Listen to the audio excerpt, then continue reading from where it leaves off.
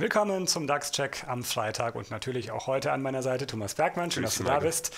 Wir sehen schon den aktuellen Stand des DAX. Wir sind heute auch mal live, deswegen passt es auch wirklich auf die Minute. 9.36 Uhr. Wir stehen ja leicht im Minus. 20 Zähler geht es nach unten. Jetzt wird es heute spannend. Ich habe schon auf der Aktionär gelesen, die US-Jobdaten kommen. Warum werden die denn, wer es noch nicht gelesen hat, so wichtig? Verrat uns das doch mal. Ja, weil äh, die Hoffnung ist, dass die Arbeitsmarktdaten einfach stark ausfallen und dem Dollar mal wieder mhm. äh, neues Leben einhauchen weil der ja zuletzt deutlich geschwächelt hat, ähm, im Vergleich zum Euro vor allem. Wir waren knapp bei 1,19, nachdem wir jetzt vor wenigen Wochen, sage ich mal, bei 1,10 oder Anfang des Jahres sogar deutlich tiefer standen. Und das lastet natürlich auf dem DAX und auf den äh, Gewinnen der, der DAX-Unternehmen. Und deswegen denke ich mal, schauen da viele heute Nachmittag mal nach New York, was da verkündet wird. 180.000 neue geschaffene Stellen werden erwartet. Arbeitslosenquote soll um 0,1% auf 4,3% fallen. Also das sind so die Erwartungen des Marktes. Und da muss aber, also damit es Einfluss auf den Dollar hat, glaube ich, über 200.000 Stellen kommen. Mhm. Alles, was da drunter ist, befürchte ich, hat es eher negative Auswirkungen.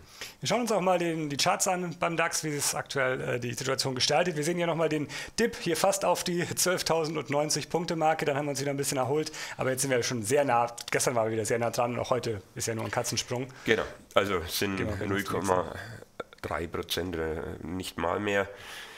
Aber wir halten uns noch. Also das ist das Positive, dass wir uns in dem Bereich bewegen. Ich sage mal so, es sind viele im Urlaub, es, der Handel ist sehr dünn. Ähm, der Markt muss sich einfach mal jetzt neu sortieren. Was machen wir mit dem Dieselgate? Was machen wir mit den Absprachen ähm, in der Automobilindustrie? Ja. ja, die Zahlen müssen der Reihe nach verarbeitet werden.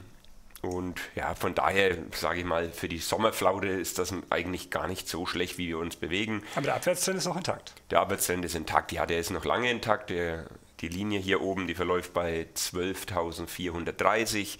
Äh, von unten, die kommt näher, die 200-Tage-Linie, also auch positiv. 11.870 sind wir da schon.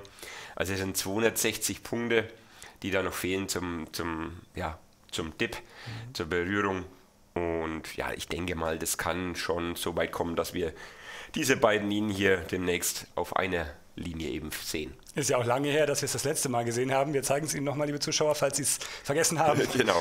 Über ein ja, Jahr jetzt schon. Genau, hier im Mitte des Jahres, Mitte 2016, war, wie gesagt, äh, sehr ungewöhnlich, diese lange Phase, dass wir oberhalb der 200-Tage-Linie äh, uns bewegen. Wir hatten, wie gesagt, hier schon mal den Fall, äh, das war ein halbes Jahr. Hier bewegen wir uns jetzt schon ein ganzes Jahr drüber. Und ja, man muss kein Prophet sein, um zu sagen, dass irgendwann diese beiden Linien sich wieder schneiden werden. Die Frage ist nur, ob bei oberhalb von 12.000 oder unterhalb. Wahrscheinlich liegt die Wahrheit in der Mitte. Wir schauen aufs Produkt, das jetzt schon länger aktiv ist. Ein Short-Produkt, das wird uns auch gleich eingeblendet. Genau, 9,30 Euro, also im Vergleich zu gestern kaum bewegt. 8 Euro war der Kaufkurs. Äh, ich wiederhole mich gerne, wenn wir jetzt da die 12,90 wirklich mal unterschreiten sollten, kann man durchaus noch neu einsteigen oder vielleicht sogar die Position etwas aufstocken.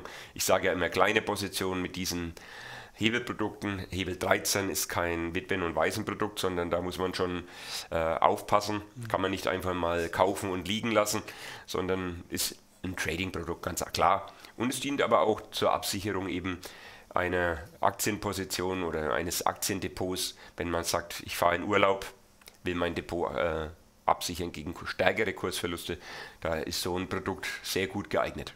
Gut, dann sind wir schon wieder am Ende der heutigen Sendung und auch der heutigen Woche. Wir schauen ja. mal, was heute Nachmittag passiert. 14.30 Uhr behalten wir auf jeden Fall im Blick, sollten Sie auch tun. Dankeschön, Thomas. Gerne. Danke auch Ihnen und bis zum nächsten Mal.